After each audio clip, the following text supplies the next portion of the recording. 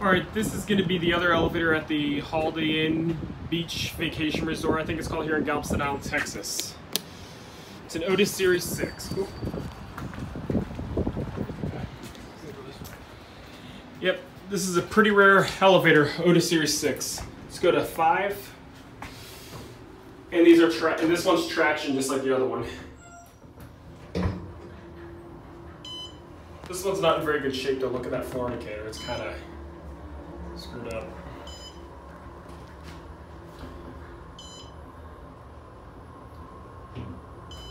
Here at the fifth floor.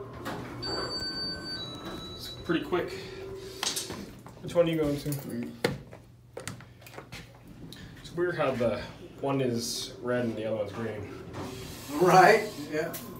It looks like Christmas lights.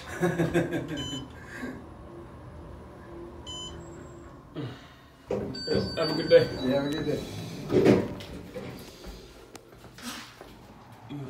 Actually, you know what I think? Hold on.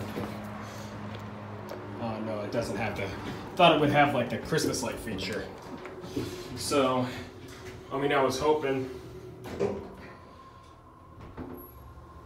Door cab view. It's just like the other elevator, except the door is on the other side. It's opposite. Here are at the ground level. Otis Series 6 fixtures.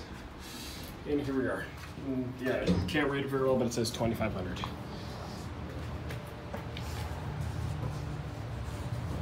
That's it.